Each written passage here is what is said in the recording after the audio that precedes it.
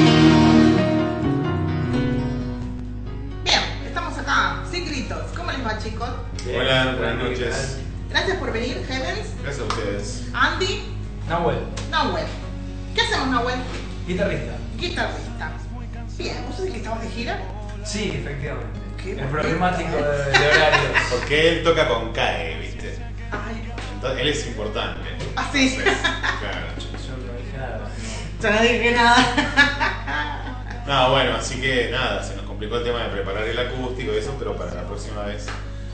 Digamos, cuando damos un paso así, queremos hacerlo bien. Para venir y hacer unas cosas desastrosas, preferimos no. No, está bien, Para la próxima, la próxima No, vamos a ser ocupados. Sí. Dale, dale, dale, dale. Arreglamos y ¿Cómo no? Sí, sí, sí, sí. Bueno, quiero que me cuenten, el año pasado vino el batero, Sí, que sí. fue antes de que tocaran en Alcatraz. Sí, una del. Calculo que para diciembre, a la, fecha de fin de año habrá sido. Calculo. Yo creo que sí. Creo que sí. Hicimos, Después sí, hicimos dos fechas en acá atrás. No, ¿cuándo No, Entonces después fue antes se de iban, Brasil, después se iban a Brasil. ¿Fue ahí? Bueno, sí, sí, puede ser. en Bueno, a ver, cuéntenme sobre las fechas de Brasil. Y Brasil estuvo tremendo porque es una ciudad. Nosotros fuimos a San Paulo y Campinas, que queda ahí muy pegadito de San Paulo. Es una ciudad más chica. eh, es como una especie de estar en el centro de Buenos Aires e ir a Chivilcoy, una cosa así, Una cosa ponele. Pero muy rockera. Bueno, Sao Paulo es una ciudad súper rockera, hay mucha gente. Y lo- los brasileños curten rock, digamos. eh, no sé si tuviste la oportunidad de ver la foto que sacó Kiss, eh, ahora que hicieron el show en Brasil. Sí. Es impresionante la gente que hay. Bueno, así es, así es allá. Digamos, nada de reggaetón y bachata y toda la mierda esa que está acá, perdonando. Estoy muy caliente con está al aire, caballero. Ay, que cuántos River o no sé cuántos estadios hizo el muchacho ese con la voz finita cantando bachata. Y acá viene Kiss y tengo que pedir por favor que vengan la gente. Bueno, y allá es que explotaba. La, la verdad que tocamos, eh, explotaba, eh, la gente sabía las canciones, fue un, un- hermoso, hermoso. Sí, fue, fue una, fue algo que sorprendió mucho eso. Eh, fue gente al primer show, este, estaría a unos 100 kilómetros aproximadamente Sí, en Campinas de lo que era San Pablo. Y nos sorprendió ver gente que había estado en el show anterior, al otro día, este, con las letras sabidas. O sea, Ah, fueron de nuevo al show y cantaban, las letras, cantaban los temas. Es como que fue muy loco. Bueno, eso es re lindo. O sea, Sí, no, Brasil hermoso. y que la gente No, hermoso. tocando en un lugar de otro país que la gente cante las canciones es genial. Es tremendo. Sí. Después de eso, ¿qué hicieron? Después estuvimos tocando por acá, en Capital, en Buenos Aires, y cerramos el año de nuevo en acá atrás, que casa para tocar. Nos llevamos muy bien con la gente del lugar, nos conocen hace años, por lo menos Nahuel y yo venimos batallando en diferentes bandas, eh, nos conocen la gente, ya, ya confían en nosotros, digamos.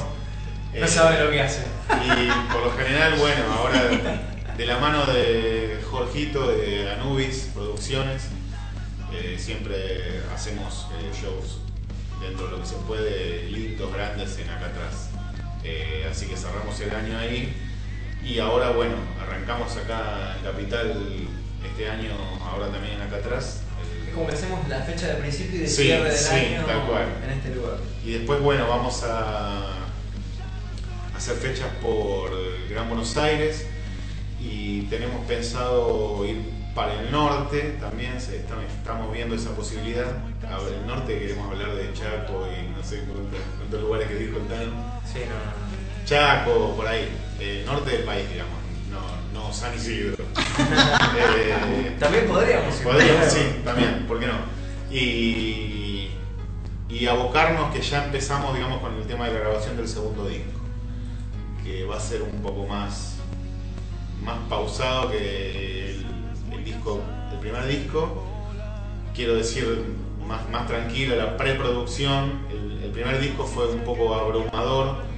eh, cuando Marcelo, que es nuestro bajista, nos, nos perdón, Marcelo es un poco el artífice de Heavens, él me propuso a mí eh, armar la banda, me dijo, mono, quiero hacer una Sí, banda de hard rock diferente, que, que- rompa todo y que él había escuchado mi material.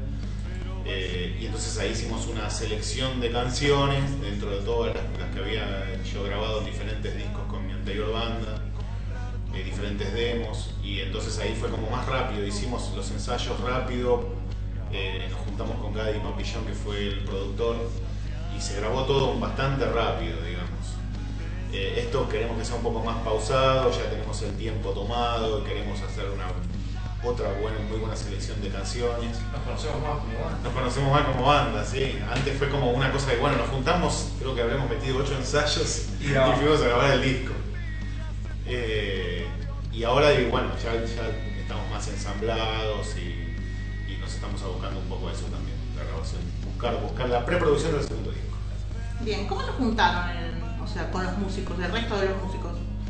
Para el primero. Eh, Marcelo eh, fue quien me dijo a mí, quiero hacer una banda, y me dijo, tengo el batero, y yo le dije, yo tengo el violero.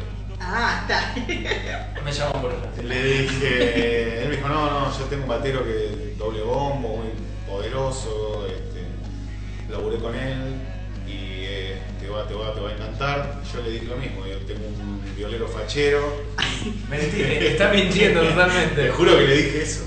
Qué Le mentira. dije, toca bien, es fachero, se dedica a esto, toca con CAE. Ya está. Este, ya está, o sea que es un chabón profesional.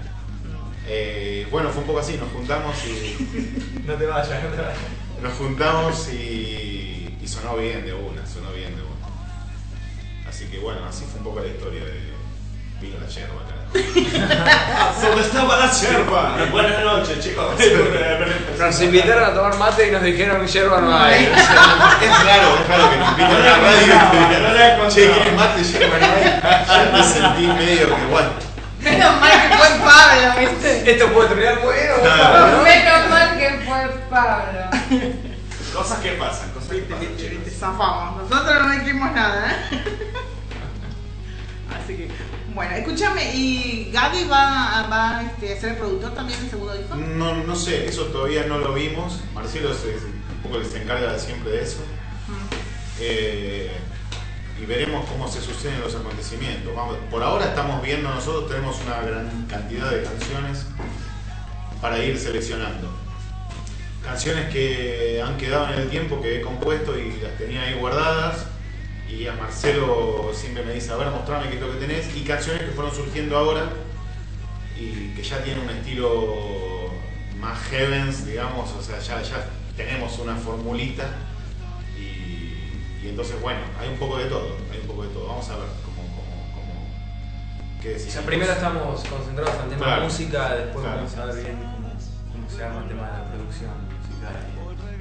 ¿La música la arman entre todos o...? Cada uno, sí, en realidad eh, principalmente lo que componen son él y Marcelo, eh, y después es como que todos vamos poniendo un poco. Sí, siempre sucede. Yo calculo que en la mayoría de las bandas sucede lo mismo. Eh, hay uno que es el que tiene, trae la idea y los otros La arruinamos. te la destruyen, así, básicamente. Pero vos siempre componés.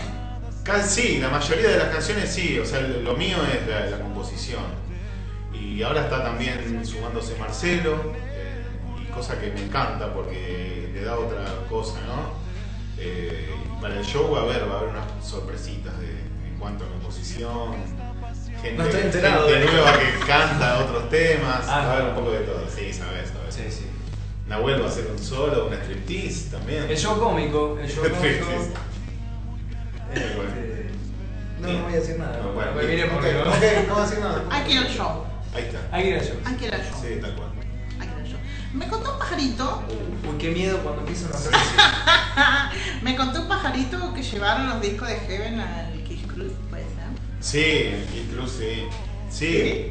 Y sí, por suerte eh, tuvimos la suerte, en realidad tuve la suerte yo, Marcelo ya había estado varias veces con, con Gene Simmons y me invitó a que vaya de nuevo, él me dijo voy a ir, quiero que sea mi invitado y bueno, pude estar con él, le llevamos, le llevamos discos eh, y pudimos hablar, eh, decirle, agradecerle todo lo que ¿no? uno siente que de chico le quiso decir. Y bueno, por lo menos tuve, tuve esa gran oportunidad, un momento inigualable de mi vida.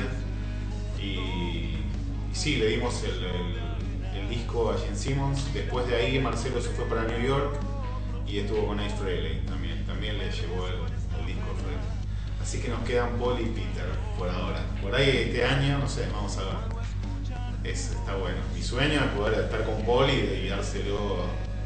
eh, pude estar con él en el momento de la foto, en el cruz, Sí. pero es un, es un toque. Segundo. Le dije, te quiero agradecer eh, que marcaste mi vida y el chavo dijo, no, no, yo te agradezco a vos. Le dio la mano así muy suavecita. Y- ¿Estás tratando de decir algo? No, no, nada, no, nada, que viste cómo es él y nada, el toque te gritan foto, foto y te tenés que dar vuelta, te sacas la foto y mandé puñito de Heavens. Y, Es el nuevo símbolo Sí. registrado de él. y no, la verdad que sí, estuvo buenísimo. Pero bueno, qué sé yo, estar ahí con ellos es para uno que es. No, Un simple mortal. sí, tal cual. ¿Desde cuándo dijiste, ah, Kiss me encanta? Me vuela la cabeza. Y a, a mí me voló la cabeza cuando tenía 9, 10 años. Cuando, como la mayoría de, de los de mi época, cuando salió Dynasty acá, un amigo trajo la tapa y dijo, mira lo que trajo mi tía de, de Estados Unidos que había ido y flasheamos. y de ahí en más no, no paré y eh, el fanático de Kiss es muy especial, es como el hincha de Racing, así, fanático mal. O sea, sos fanático mal. Yo soy de River, nada que ver. Pero sé que los Racing son, o sea, después de estar 30 años sin salir campeón y qué sé yo, hay que ser fan. De verdad. Este. Te estás metiendo en un terreno en el que te vas a ganar. No, estoy, estoy halagando. Para algún fanático que nos está escuchando, No es nada Estoy personal. halagando. Ahora entendí. Ah, bueno, ahora Yo dije, yo soy pincha, ¿de qué me estás Claro. Pareza, no, no, Eh, no, venía no. para otro lado, el palo venía para otro lado. Este. que me, me perdí. No, no sé, no tengo ni idea. Bueno, nada, eh, fue fantástico eh, esa experiencia y, y desde chiquito, entonces bueno, uno, lo que pasa es que de chico era muy diferente ahora, no, no gracias, estoy con la coquita. Eh, no, había nada, cuando uno, era, cuando uno era pequeño escuchábamos los discos en vivo y no sabíamos, la gente gritaba, no sabíamos por qué, No había YouTube. no había nada. Así que, No había ni computadoras. bueno, a medida que uno fue creciendo, fue, fue viendo, aprendiendo. Y, y bueno, ellos fueron los causantes de. Y por suerte se lo pude decir a Simons en la cara, le dije, por vos eh, soy músico, por vos soy profesor de inglés. El chavo me dijo, y por vos tengo una vida, me dijo. O sea que el tipo es copado, es un agradecido también de los fans. Puedes haber dicho, por vos soy músico cuando pude haber sido abogado. está muy bien, está muy bien, muy- mucha sinceridad. No, no, me quedo así, me quedo músico. Si tuvieras que elegir de vuelta, seguirías siendo músico. Sí, sí, sí, sin duda. Sí, sí, porque es, lo que a uno lo, es- es la pasión que te mueve. O sea, yo obviamente laburo de otra cosa y nosotros laburamos de otra cosa. Menos Nahuel, que es músico. Que este, nosotros somos. Es de los pocos. Sí, sí, es una gracia. Pero poco se agradece. Y, y una vez que uno termina con, con su labor, se dedica a esto porque tiene una gran pasión, porque si no, no lo harías. Porque uno termina muerto de hacer sus cosas y, y después te das el tiempo para hacer eso, ya sea grabar, ensayar, componer o lo que fuera. Pero es, es- es- es- un amor que uno tiene por la música que no se puede explicar. Ah, la adrenalina que te da. Sí, no es genial. Además que siempre hay un, o sea, todo sacrificio tiene un premio. O sea, cuando gracias a Dios pude formar Heavens, que vino Marcelo y me dijo esto, uno dice, bueno, tanto uno se sacrificó tocando en diferentes bandas, haciendo tributos, y bueno, de algo sirvió, lo vieron, alguien lo vio y dijo, uh, mirá este pibe, a ver qué compuso, y bueno, o sea, todo sirve, todo sacrificio sirve, por más chiquito que parezca, eh, en todo sentido, digo, ¿no? Porque ustedes hacen esto también por pasión, y bueno, vos decís, ah, hay gente que no lo entiende, ¿viste? Amigos que te dicen, pero, boludo, ¿de qué hora laburás? De 9 a 9 de la noche, y Sí. después te vas a ensayar, Sí. vos estás loco, y a vos te decís lo mismo, y después te vas a hacer radio, Sí. ¿viste? Quedate en casa mirando a Onur, y no, ¿viste? Onur, también una noche, llega sabe, No, no estoy al tanto, no estoy al tanto. ¿Qué es eso? saber que perdemos. No, no, bueno. Voy a investigarlo. Vale. Tarea para el hogar. Ok. Bueno, y vos, Nahuel, a ver, contame, ¿cómo es la vida del músico? Que puede vivir de músico como músico. Estudien, estudien todos y sean abogados. Eh, no. Qué reflexión. O sea. ¿cambiarías tu vida de músico? No, para nada, no, no, bueno, es, eh, la verdad es, es como todo, es, es normal, eh, requiere de la misma dedicación, la misma cantidad de horas que cualquier persona que haga una oficina, es mucho estudio, mucha práctica, eh, mucho sacrificio, eh, es normal, es como todo, es dedicarse de lleno a algo. Si uno tiene un negocio o cualquier tipo de trabajo, debe dedicarle gran concentración, gran cantidad de energía, tiempo. Como todo, nada más que bueno. Por ahí la diferencia es que este, cuando te vas a acostar a la noche decís, bueno, todo lo que hice, todo el sacrificio, todo lo que hice durante el día, me gusta, lo disfruto mucho. Por ahí tiene otra cuota de disfrute este, y va por ahí, me parece. La- por ahí la, la gran diferencia. Pero en realidad es prácticamente lo mismo. Es mucho trabajo, mucho sacrificio, mucha energía. No es tan fácil, no es la hora que uno ve arriba del escenario el fin de semana. No, no, durante la semana es trabajo constante. Por ahí es más, ¿no? Eh, eh, puede ser, no sé. eh, yo la verdad que he trabajado durante muchos años en, en- en- en laburos mortales, como le digo yo, de, de simples mortales. Este, eh, pero por ahí uno no lo siente tanto al hacer lo que realmente le gusta, o sea, no. eh, te forzás lo mismo, o tal vez más, como decís vos, por ahí es un, es un trabajo tanto mental como físico. Vos estás un montón de horas estudiando, pero a su vez todo eso que estudiás también lo aplicás. Entonces, este, con el tiempo se te va generando eh, estrés por ahí. Yo, en mi caso, guitarrista, los cantantes supongo que también, eh, voz en los brazos, semanas con tendinitis, eh, muchas cosas que, este, como cuando uno por ahí está trabajando, que lo he hecho, levantando cosas pesadas, o que por ahí que se te arruina la espalda. Es como todo, hay mucho físico, mucho, mucha energía, mucha concentración. No como como miente, oiga. Este, es lindo, realmente el- el- el- en conclusión este, es mucho sacrificio, pero es, es- se disfruta muchísimo. Por lo menos yo lo veo, lo veo muy tranquilo. O sea, cuando me acuesto digo, estoy haciendo lo que amo, eh, es muy lindo. Realmente, habiendo hecho cosas que tal vez no me gustaban, pero las tuve que hacer por necesidad, ¿no? Ahora el, el poder hacer una convergencia entre el sustento y hacer lo que uno ama, creo que eso no, no tiene igual. Bien. Bueno, vamos a escuchar un temita. Dale, vamos a escuchar un tema. ¿Cuál? ¿Puedo mandar un saludo? Uh, Ah, la, la. Ya empezamos. No, no, es que están llegando los saludos y después viste me retan porque no los Ah. leo. Salude, salude. Entonces, por lo menos los que me llegan acá, un abrazo grande a los chicos de Heaven, Sandy y a Nahuel, los estamos escuchando con Lore, abrazo a todos, a Andalía y a los chicos de Leones. Eh, Martín. Martín Turk. Grande, Martín. Saludos, saludos, Gracias, eh. Martín. Ahora sí, ¿con qué tema vamos? Porque estaba Lo que quieran. Sí. No, no es así, chicos. Eh, Ustedes eligen, ustedes uno son. se sonó. Ya sonó. Exactamente, y tu voz es lo que está sonando. Y vamos a escuchar de todos. El show, Sí. vamos con eso.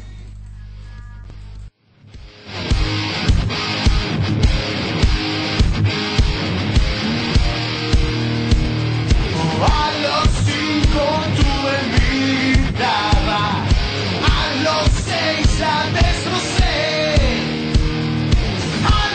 los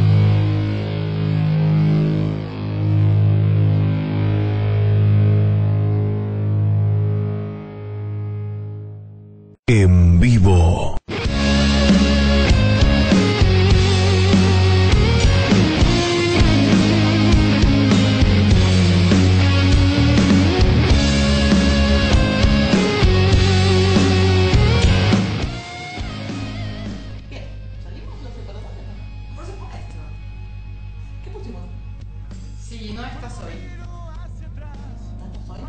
Si no estás hoy. ¿Quién no está hoy?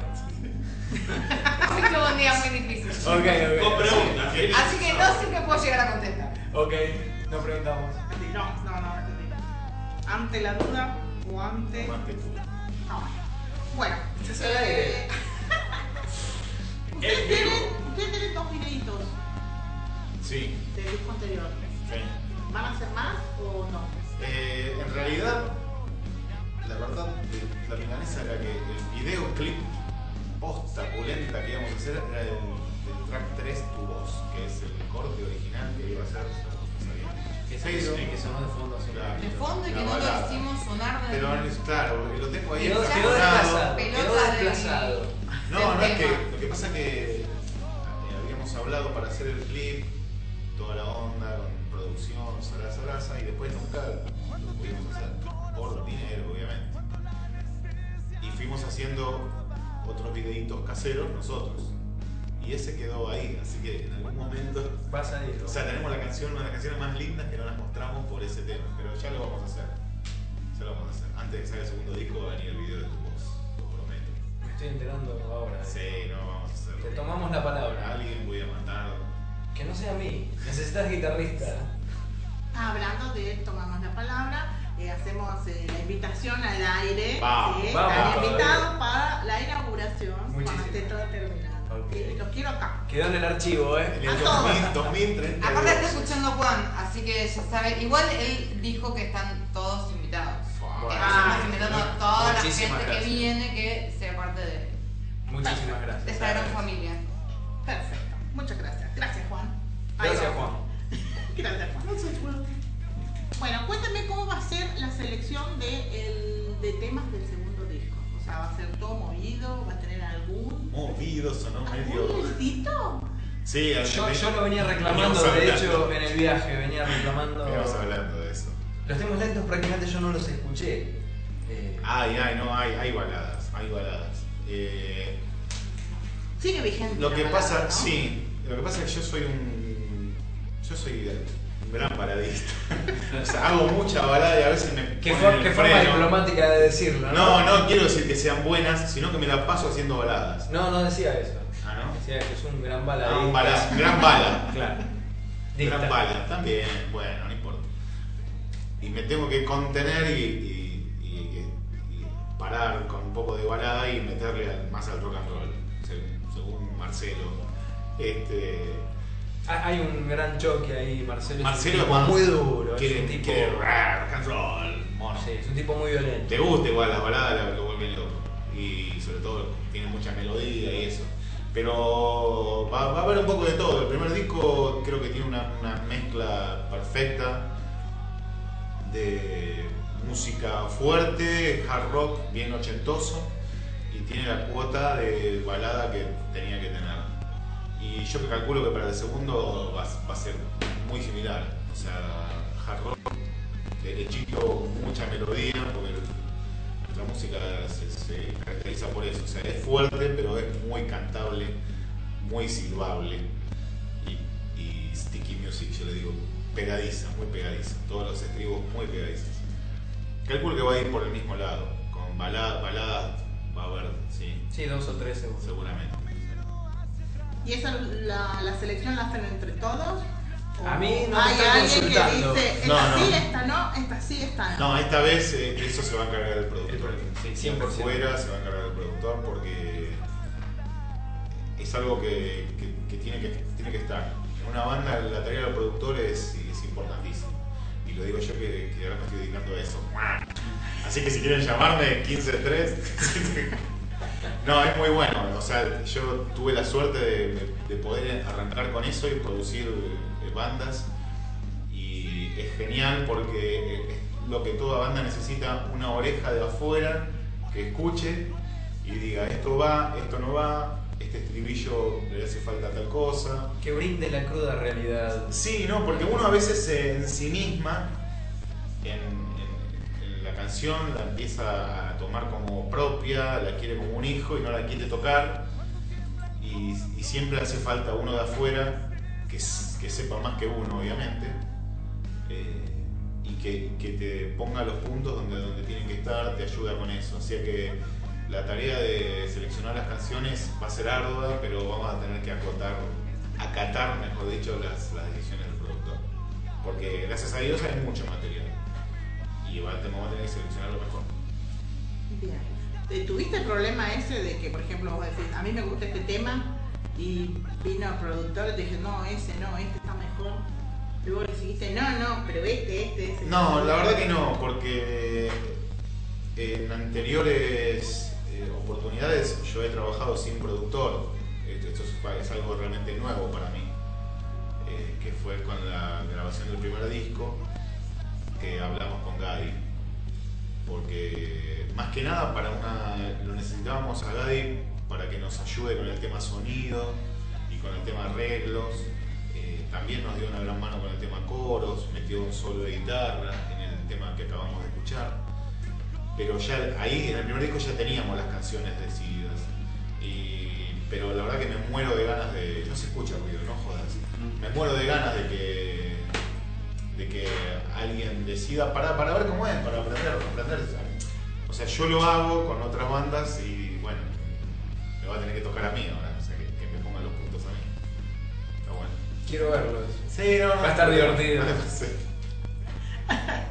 Porque es medio reacio, Nah, medio... No.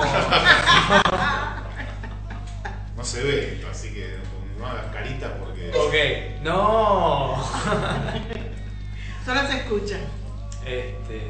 No, no, bueno, tiene, tiene su carácter este, y claramente no estaba acostumbrado a trabajar con productor, así que va a estar entretenido. No, va a estar bueno, va a estar bueno. Va a estar bueno porque es algo que te hace bien, te hace bien, te hace crecer. Te hace, sí, es verdad.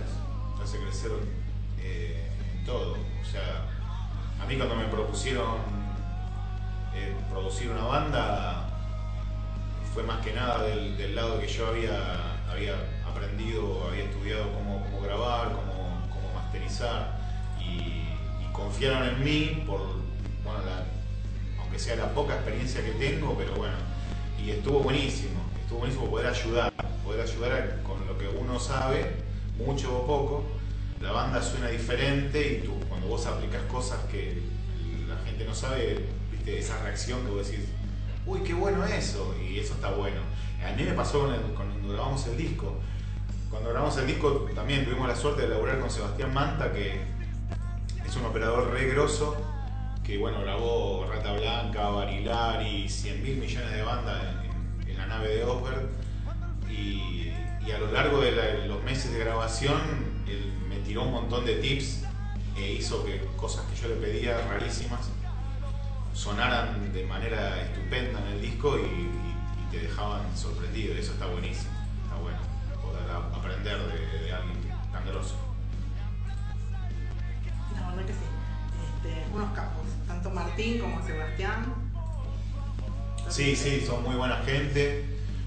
eh, y, y la verdad que yo hacía mucho tiempo que no grababa, bueno, de hecho nunca había grabado un estudio tan, tan bueno como La Nave.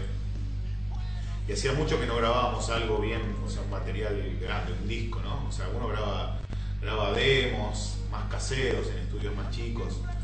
Y de repente fuimos a grabar ahí y te encontrás con una tecnología que, que uno no está acostumbrado y, y unas, unas formas de grabar que uno no, no sabía ni que existían. Porque la verdad cuando grabamos las violas, que las grabamos primero con un Marshall y después hacían el reamp y le ponían otro equipo y vos podías elegir qué sonido querías de guitarra. Sí, se pueden hacer cosas muy, muy interesantes. Y ahora Que cuando- a uno no se le hubiesen ocurrido. No, no. Y ahora cuando yo hice el curso de grabación y masterización, eh, lo hice en estudio de Ricky Corrieri, que es muy amigo mío, bueno, que me enseñó todo esto, y después empezamos a grabar bandas, y él me contaba sus anécdotas, y yo le decía, esto es un afano, porque, o sea, vos vas y ves cómo se graba y decís, loco, paren de robar, fuera de broma, o sea, así graba cualquiera, porque hoy en día se hace, pero cualquier cosa Mucha magia. Pero demasiada, para mi gusto demasiada. Pero tenés que reproducirlo en vivo. Eh, por eso, hay bandas que vos decís, ¿cómo van a hacer estos muñecos Claro. para tocar esto en vivo y para cantarlo? Como la voz, ¿viste? La voz llevas a cualquiera que más o menos arrima y, lo, lo retocas y queda bárbaro. Pero claro, es como decís vos, después hay que. La, la papa está en vivo. Sí. Sí, tal cual. Pero en estudios se hace mucha magia. Fantasía, como decía, como decía Sebastián. Mucha Fantasía. Bueno, hay muchas bandas que son solo de estudio, no se presentan. Y bueno, por algo se En breve, Heavens, solo estudios. Solo de estudio. No, no, no creo que pierda la magia de presentarse. No, el, no el, el vivo es lo más grande. El vivo, el vivo es lo más grande que te puede pasar. Igual a mí, yo soy un bicho muy de estudio, me encanta. Me encanta estar, me encanta grabar. Me puedo pasar horas y el tiempo se me vuela así, gra- grabando, componiendo. Pero A mí me pasa todo lo contrario. no, a mí me encanta, me encanta. Pero es lo mío. La creación, la composición es lo mío. Pero el vivo tiene una magia que es increíble. Aparte que la, uno la pasa muy bien. eh, es así. ¿no? Tocas con, con gente que sabe, ¿no? en este caso. Bueno, está- están buscando guitarrista acá los chicos de Heaven. No, no, Querían aprovechar el programa para decir Queríamos aprovechar para decirte que hemos buscado otro. Ok. Cuando uno toca con gente, buen, buen músico y buena persona, eh, las dos cosas son, son esenciales. Porque podés ser un super músico, pero si sos una mierda de persona, Estás al aire. no me importa. Estamos en horario de producción menor, así que Ah, no pasa nada. No va y la cosa no camina. Y no, no hay- esa magia no se produce en el escenario justamente por eso. Y me ha tocado. Y podés estar con amigos y pasarla muy bien, pero que no tocan bien y tampoco se produce esa magia. Porque tarde o temprano hay, hay algún, Se genera un sí, algo pasa. Entonces lo ideal es buscar un pibe así, medio pelo. no, lo ideal es tratar de... de- hoy, a, a mi edad, a los 30, ya uno... Recién cumplidos. ya buscas eh, sonar bien, pero primordialmente pasarla bien. Porque para eso estamos, digamos, para pasar un buen rato y, y mostrar lo que uno hace y pasarla bien. Y No generar eso en la gente también, ¿no? Un Claro, tal eso. cual. Y que y poder transmitirle la- lo, lo que uno sintió cuando compuso esa canción, lo que uno siente cuando la toca. eh, contagiar eso, ver ese contagio es fantástico. Pero pasarla bien, sobre todo arriba del escenario, con la gente con uno que está tocando, porque si no, no, tiene mucho sentido todo el, eh, el sacrificio que decíamos antes. Si no, ¿para qué? Así que bueno, eso, en eso estamos. Por ahí entonces. Perfecto. Bueno, entonces se van a estar presentando el 6. El 9, El sábado 9 de Lo di mayo. vuelta. Lo di vuelta. Claro, sábado 9 de mayo en el auditorio acá atrás, que queda en Rivadavia 3636 de Capital Federal. Eh, vamos a estar eh, compartiendo esta fecha, pudimos poner de soportes a dos bandas muy amigas nuestras, que son Joker, que es la banda que estoy produciendo, y Mr. Bock, que es la banda de Ricky Corrieri, quien es mi compañero de, en el Hay estudio. tongo acá, hay tongo. Sí, está todo arreglado. Eh, así que ellos van a estar, vamos a estar arrancando tipo 19 y 30, va a tocar Joker, después Mr. Bock y bueno, por último vamos a tocar nosotros, Heavens. Heaven, Bueno. Yes. Eh, vamos cerrando con un temita y después volvemos y nos despedimos. Dale. ¿Cómo no? Dale, ¿qué temita? El 6 como el mar. No mires con esa cara, por Dios. No hay cámaras.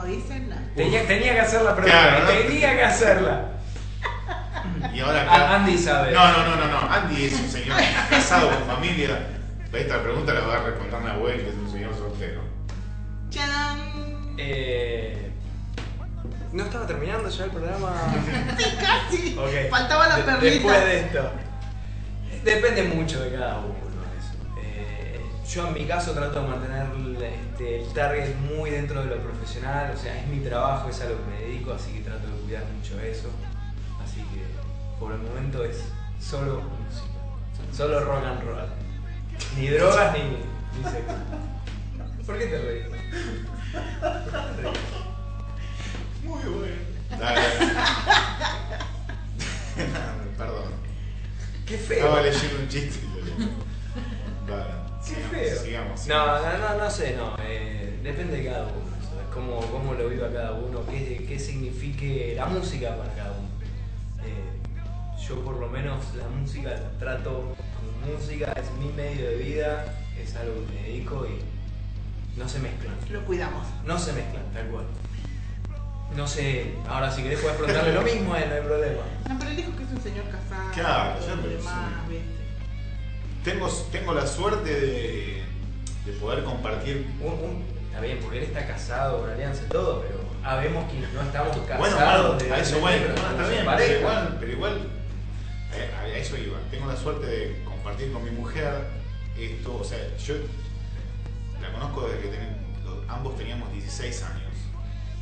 Ya me conoció así. O sea, yo ya tocaba en bandas. No hubo forma de decir, bueno, no, no es lo que yo esperaba, amigo, nos vemos en Disney, no. Ya ella me conoció así, pasamos nuestro noviazgo así, nos casamos así, tuvimos nuestra hija así. Y por suerte, cuando fue que, que- o sea, ella me, lo miraba de costado lo mío, venía a verme cuando tocaba, qué sé yo, pero no estaba metido ahí. Después cuando empecé con el tema del tributo a Kiss, ella se metió más en el asunto y empezó dándonos una mano nivel buscar fechas y terminó siendo la manager de la banda. Y, bueno, entonces ahí se fue metiendo más y bueno, eso hizo que compartamos un montón de cosas. O sea, íbamos a tocar eh, a Bahía Blanca, Mar del Plata y bueno, yo iba con ella y entonces eh, gracias a la música también pude compartir todo eso, conocer lugares, con ella. La pasamos muy bien. Sí, soy una persona casada. Lo que querés decir es que te portas bien porque vas a todos lados con tu Porque estoy marcado todo el tiempo, estoy, estoy marcadísimo. Pero la paso, la paso, la paso. No, está bueno, es verdad eso. Cuando, cuando uno está en pareja y, y comparte eso. Es lindo es y no se encuentra siempre.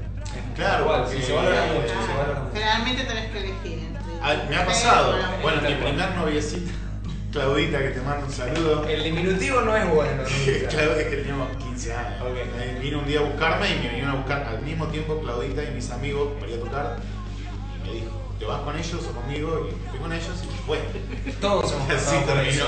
Sí, Sí, todos, todos hemos pasado por eso. Por eso está bueno y se valora mucho cuando uno tiene una, Sí, una sí. compañera que, que te abanca, te abanca full, que no, no te hace cenas de cero, sabe que es tu laburo y cual. entonces uno también respeta eso. Claro, te entiende, te acompaña. Claro, sí. Y Es se valora, se valora porque no se consigue Claro. eso. Sí, es difícil, a veces es difícil cuando te rasgan las camisas las chicas, No sé. cuando te rompen los chalecos en Tucumán. No sé cómo es eso. Bueno, vamos a retornar de época. Me habías dicho que terminaba el programa. Se me puso colorado. Me habías dicho que terminaba el programa, no puede ser. Pero bueno, por eso está bueno que te, que te banquen. Bueno, ya está. Eso, de, de la anécdota del chaleco me la vas a contar la próxima. Ningún problema. No, no pasa nada. Salíamos, siempre hay gente así que una foto, algo, y medio que te quiere manotear y vos venís caminando, corriendo y bueno, un tac, se escuchó en la costura, pero nada, y se- me dejaron sin ropa. No, no, no, no, no pasa nada, no, simplemente. Te, corta la panza. No, pero eso es porque uno está arriba del escenario, nada más que por eso. Ey, porque sos un puto guacho. Otra vez. Diría, Marcelo diría, sos muy atractivo. Más formal, ¿viste? Él te Es la frase Se están saliendo las internas. Marcelo, somos muy atractivos. Que eso, que eso quédense que. Ay, Dios. Bueno, vamos a tratar de que nadie se entere. Total no está escuchando. Ah, ah no, total no se escucha nada, así que quedémonos tranquilos. Este, bueno, entonces. El 9, de mayo. 9. 9 de mayo, en Alcatraz, ¿a acá qué hora? atrás. Y a partir de las 19.30 ya empieza, arranca Joker, Sí. después Mr. Box y después Heavens. Bien. Después, Heaven Oficial o Heaven Rock, ¿cómo es la página? Eh, Facebook, Heaven Rock. Heaven Rock. Heaven Rock. Ahí te puedes Heavens. contactar. No, Heaven Rock, sí, Ah, sí. Mirá, Eh, después voy a hacerme amigo entonces. Yo no lo encontraba, me, ponía con ese. claro, es No Heaven- sale. Es Heaven Rock. Es Heaven. ¿Por qué Heaven? Es la última. Y nos vamos. El, ¿Por qué el nombre de Heaven? Sí. Eh, no sé, la verdad se le ocurrió a un amigo cuando, cuando empezamos con todo esto. Queríamos ponerle un nombre así medio ochentoso. Y habían tirado varios nombres que estaban buenos. Uno era DeLorean, que mucho. Otro era Whitesnake, pero No. sí, Pero no, ya lo habían agarrado. Y no me acuerdo cuál era el otro. Y Heavens, calculo que habrá venido por Heavens on Fire, del tema de Kiss. Y, y quedó primero la Heaven, por eso el Facebook es Heaven. Ah, no sabía que qué interesante. Y había otra banda que se llamaba Heaven, entonces juntó a Heavens. Y después quedó Heavens. Ya sé qué contestar entonces cuando. Perfecto. Bueno chicos, gracias. No, vemos. Gracias a ustedes. Gracias. Muchísimas gracias. Sí. Espero que se hayan divertido. Sí, cagamos de risa. Absolutamente. Lo prendimos fuego en la web un poco. Sí, ustedes la pasaron bárbaro, yo la verdad que no, pero. No, no, muy, muy cómodo. Saludos a todos los chicos que siempre Sí, a Facebook. Eh, bueno, el Tano, el batero que iba a venir, al final no pudo venir. Un gran abrazo, un abrazo a Marcelo, que también tenía un compromiso hoy. Y bueno, cuando, cuando estén instaladísimos vamos a venir, vamos a hacer unas guitarreadas con Sí, claro. el amigo Nahuel, Con todo gusto. Vamos a hacer los cuatro y hacemos algo lindo. Dale. Estaría bueno, estaría bueno. Genial, ya está. Está todo grabado. Ahí está, Todo grabado. Está. Todo grabado, gracias. Bueno, entonces nos despedimos con No, basta, ahora está. yo. Ah, ahora elige ella. Eligió ella. Algo para contar. Ay, qué lindo. Nos vamos ¿Está tranqui, bien? nos vamos tranqui. Sí, sí, Muy tranqui, nos vamos. Sí, sí. Está- Pero así, lindo, muy así lindo. termina el disco, así que está bueno. Dije, bueno, ¿qué tendrán para contar? Ya está. Ahora nos ¿Te vamos a enterar. poco? Yo conté bastante, te diría. Sí, uno se Vamos entera a ver qué muchas más. cosas. Vamos a ver qué más. Ahí está.